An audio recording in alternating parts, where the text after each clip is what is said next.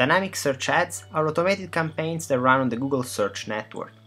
They are extremely useful when dealing with businesses offering a lot of products or services, but they can be quite useful also if you're advertising a small business thanks to their ability to find new keywords for the account. Getting started is easy. Create a new campaign on AdWords targeting the search network only.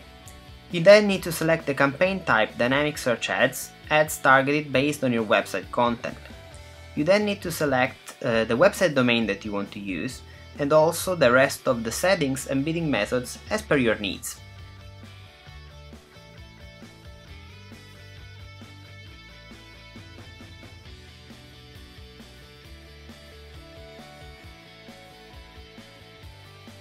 Finally, you need to insert the ad group name and create your first dynamic ad.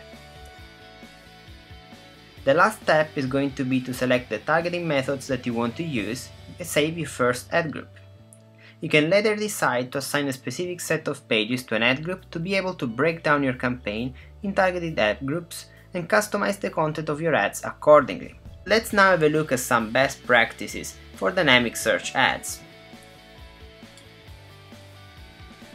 It is important to create ad groups that break down your website pages as much as possible.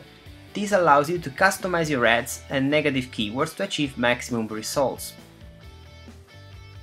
It is very important to analyze your search term report. You can find new negative keywords or target keywords to use in your search campaigns.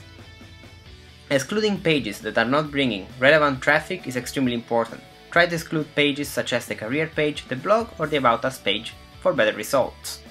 As for your search campaigns, testing description line 1 and description line 2 is very important. Try to do that and maximize your CTR and the conversion rate. Last but not least, assign one website category per ad group. Google will automatically identify those website categories for you, but it is very important to break them down in ad groups to be able to customize your strategies for them. We hope that was helpful. We are looking forward to sharing much more content with you. Bye bye.